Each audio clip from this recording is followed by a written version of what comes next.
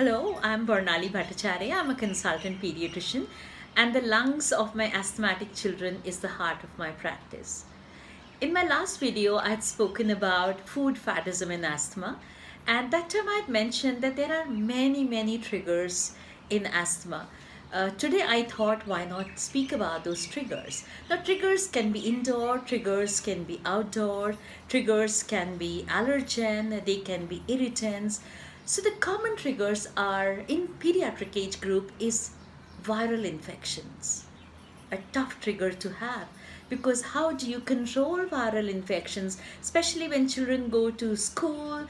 They play with children who may be also harboring the viruses.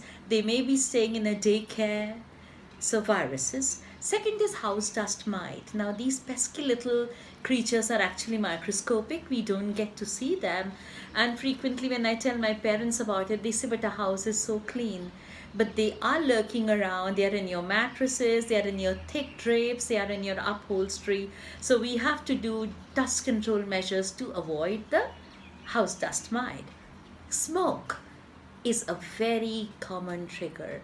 Now when i say smoke it's not just cigarette smoke of course cigarette is an absolute taboo in a household which has an asthmatic sometimes i have parents who are smoking and I have to be very harsh on them to say this is just not on. But it's just not that smoke. It's also the mosquito coils. Uh, do you know that a one mosquito coil is equivalent to 100 cigarette smokes? Then agarbatti. Then also the religious ceremonies where you have havan.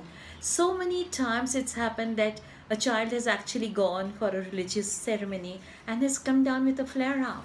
So we must remember and we must know that, you know, all the smoke of any kind, or they could be burning some harvest somewhere if you've gone to a farm for a holiday, that itself can, you know, ruin your entire holiday because your child can come down with a huge flare.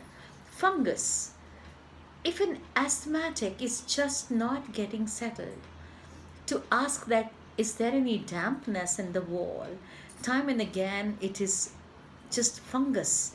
So indoor allergens are you seeing is just so, so common.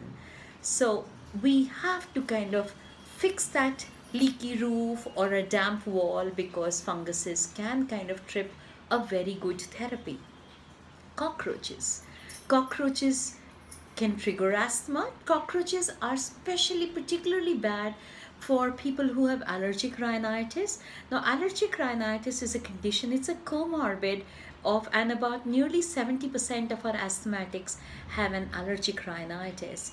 Now, um, animal dander and pets. Now, pets can be uh, sometimes a very, very emotional thing to discuss with families. So, I never tell them that if they have a pet at home and if we kind of diagnose somebody with asthma that should they uh, do away with the pets put it up for adoption?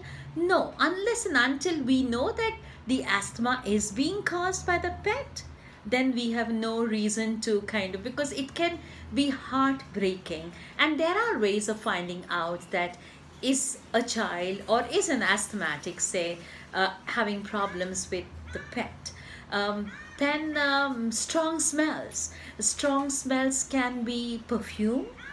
Strong smells can be when there is cooking and you know the tadka that we uh, do. A lot of kids start coughing and sometimes mothers can tell that the child actually gets very uncomfortable or sometimes she actually identifies that she also has a problem because every time she cooks she has an issue. Then uh, change in uh, weather conditions. Uh, so uh, especially when there is a cloud cover.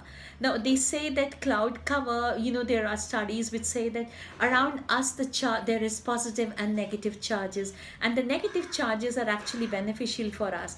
And when there is a cloud cover uh, the undersurface of the cloud is all positive. So all the negative charges kind of are drawn up. Uh, so cloud cover can be a trigger in a lot of asthmatics. Then the cold draft of air. So if you are in a cold city and the child loves to sit in front of a bike and the child is an asthmatic, in the winters that itself can be a trigger. So when parents say, my child has asthma, what about the fan? I say, of course, yes, it's summer, you can, but maybe don't put them right under the fan for the cold draft of air or not directly in front of the AC. And uh, the air conditioner brings me back to funguses that can air conditioners be used? Yes, they can be, but it should be frequently serviced and uh, so that if there are funguses, we should be getting rid of it. Pollens. Now, pollens are not only outdoors, we love to gift each other flowers, and pollens can actually cause uh, a trigger. It's known worldwide that pollens are a very bad trigger, and so, especially, you know, when you gift people lilies uh, it's best to cut off those pollen, those stamens ourselves before gifting them. And it's better to probably, if you must take uh, flowers, it's a good idea to gift orchids or probably just a plant and not a flower. You know, I kind of have started educating people about it because pollens are just such strong triggers. Um, now, exercise.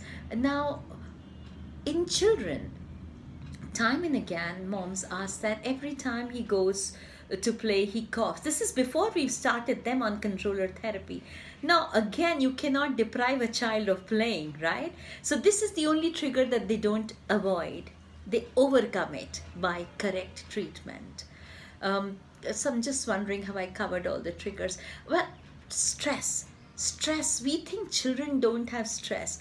By stress it's an emotional upheaval. So so many of my children actually come down around their birthday so and also stress of all kinds you know these days we have uh, family issues it's just not separation if it's a it's a joint family that's breaking up and you know the parents are growing nuclear that itself also triggers so you're seeing that there are just oh forgot to tell about environmental pollution uh, diesel emission particles. So uh, trees which are around a highway are hyperallergic because of the pollens. Schools which are close to the highway those are really not good for children who have asthma because there is just so much of diesel emission particles. And along with this there is a whole lot of other environmental pollution. Have you seen that sometimes when you take your child to the mall, the child comes down with problem? That is not only because of the carpeting in many of the stores which could be harboring house, house dust mite but it's the organic volatile compounds that all those boards that are emitting all the time. So you know mall itself is a huge trigger. So if you see now that you know trigger there are so many triggers that you have no control over. Herein comes the importance of putting children or for that matter all asthmatics under controller therapy. And in spite of their good control and good trigger measures if we are still not able to identify, then it may be a good idea then to do some allergic testing to know is there a potent allergen which we have not identified.